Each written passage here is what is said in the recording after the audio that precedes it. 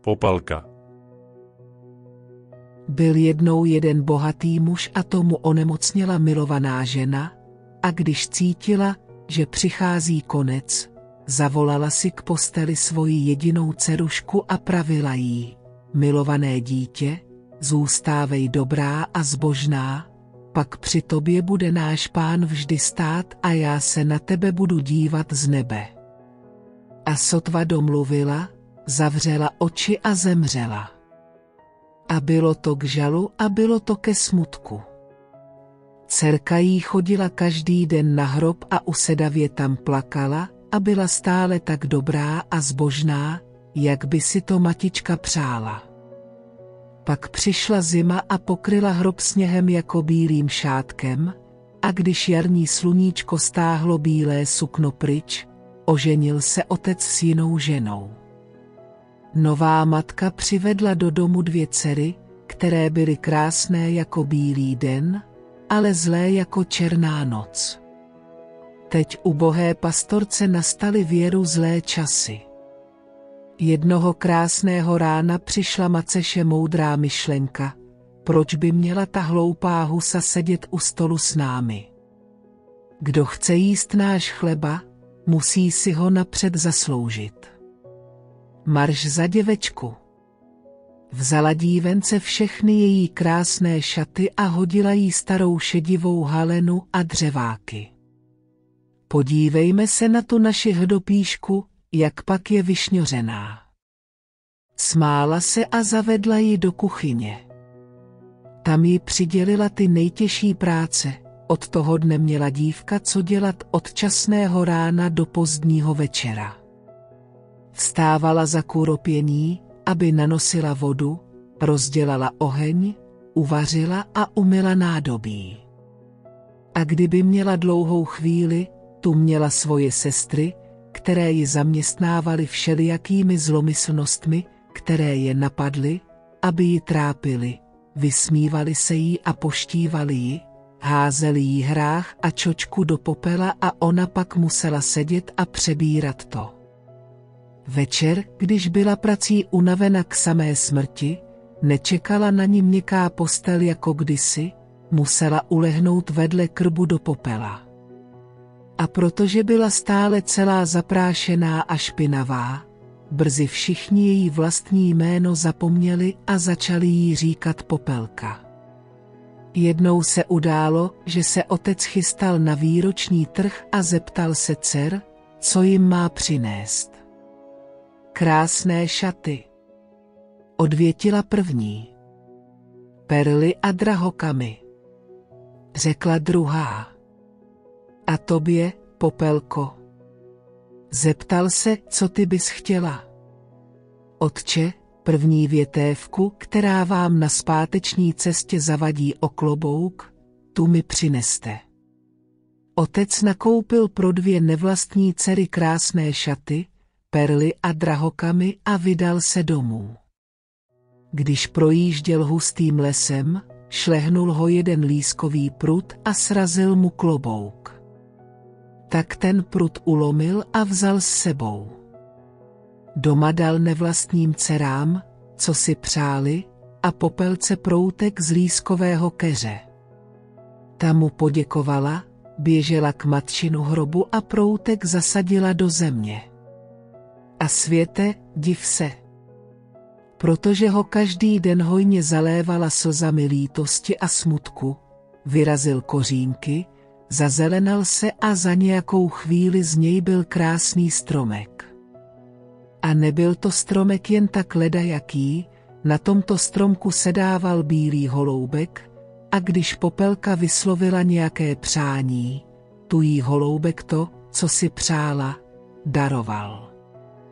V tom čase se král té země rozhodl, že ožení syna, a tak po starodávném zvyku uspořádal ples, který měl trvat tři dny, a pozval na něj všechny krásné dívky z celé říše, aby si syn mohl vybrat. Z toho každé krasavici poskočilo srdce v těle, nejinak i těm dvěma nevlastním sestrám. Tahle zpráva je měla k posedlosti a schonu a spěchu, zavolali popelku a poroučeli jí, učesej nám vlasy, vykartáčuj nám bodky, utáhni nám pevně šněrovačky, jdeme na svatbu na královský zámek.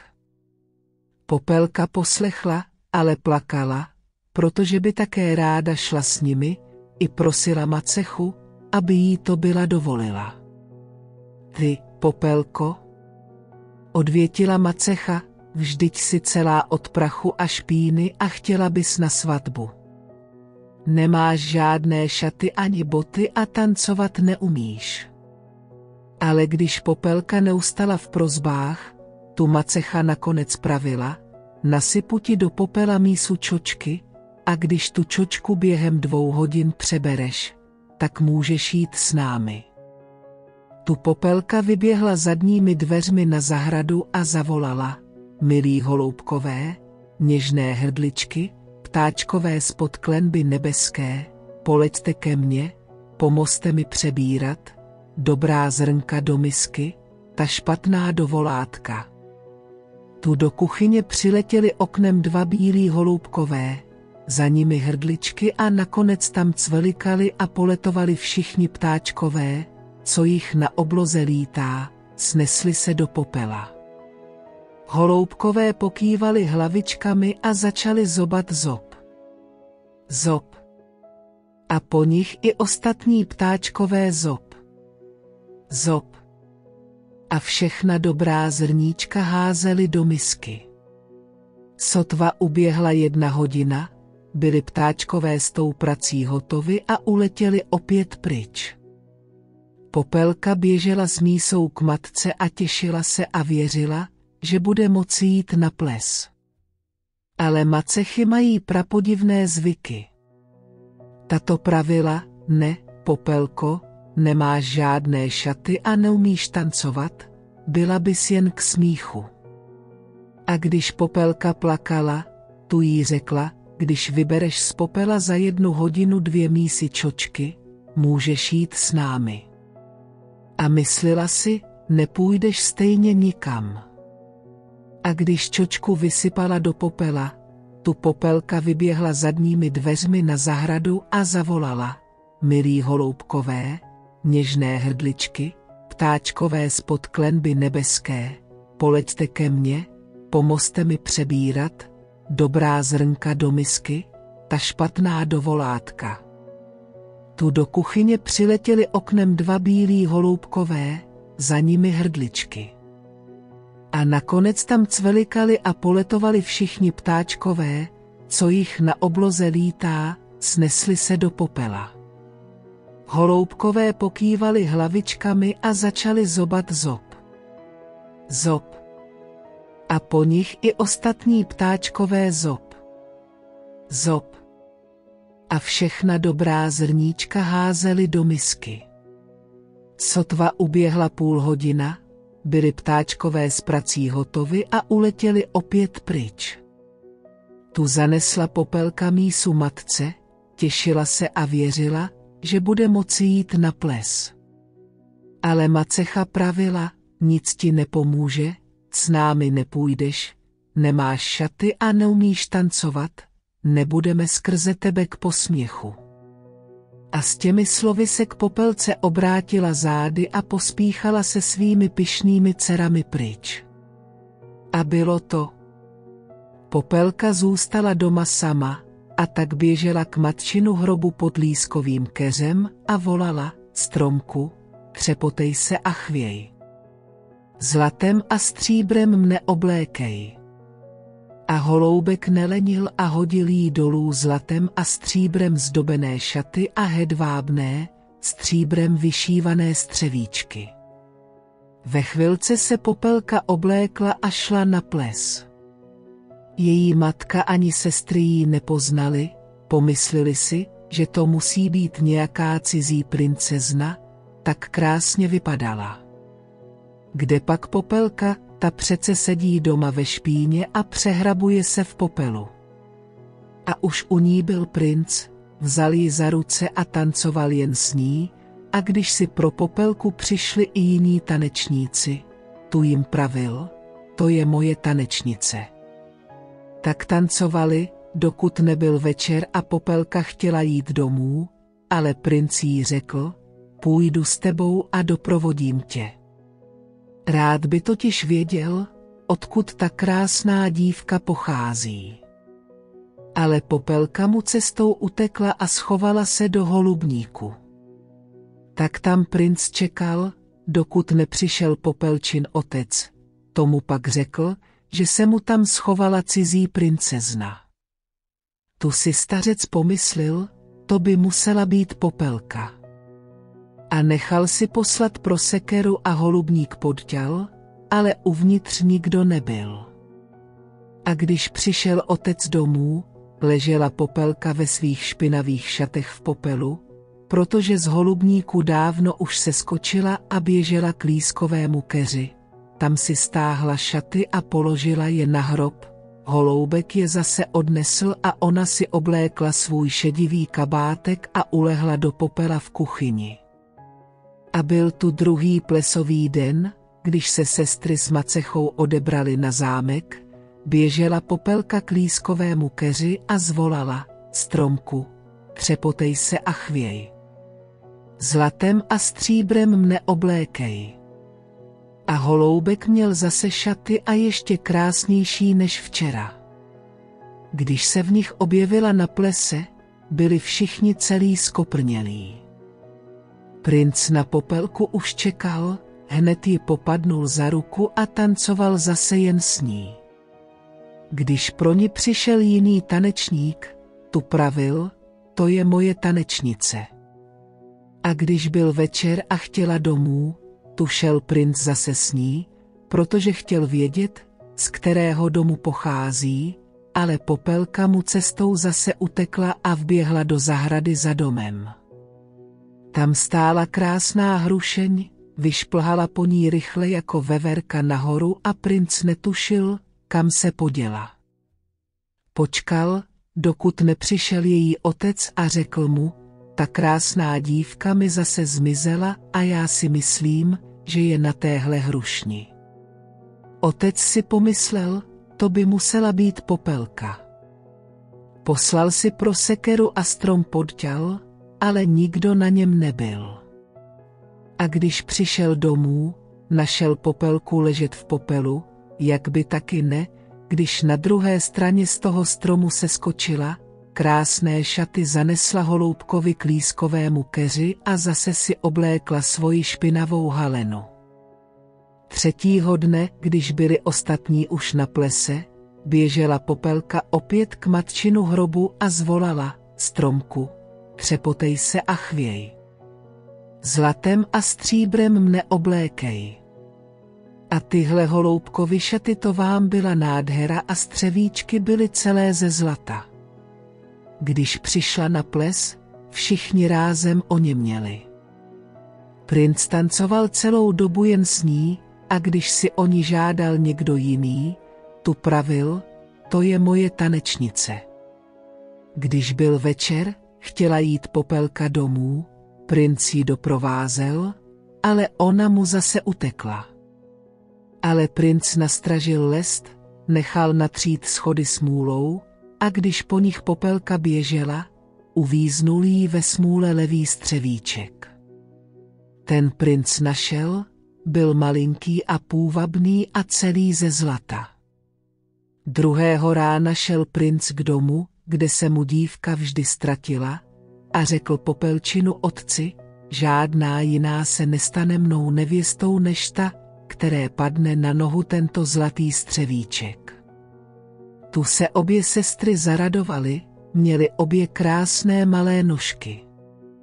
Ta nejstarší popadla střevíček a šla do komory, aby si ho vyzkoušela.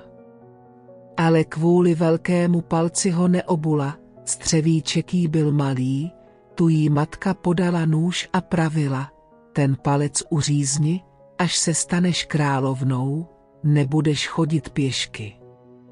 Tak dívka palec uřízla, natěsnala nohu do střevíčku, potlačila bolest a šla k princi. Ten posadil nevěstu na koně a jel s ní pryč. Ale cesta vedla kolem toho hrobu, kde na lískovém keři seděli dva holoubkové a volali, hleďme na ten zjev, ze střevíčku kejm krev. Střevíček malý předzbyl, princ návku si vyvolil. Tu se princ podíval na dívčinu nohu a uviděl krev. Obrátil koně a zavezl falešnou nevěstu zpátky domů, kde jim řekl, že to není ta pravá, že má střevíček vyzkoušet jiná dívka. Tak vzala střevíček ta mladší a šla do komory, palec do střevíčku vklouzl lehce, ale patě se nechtělo.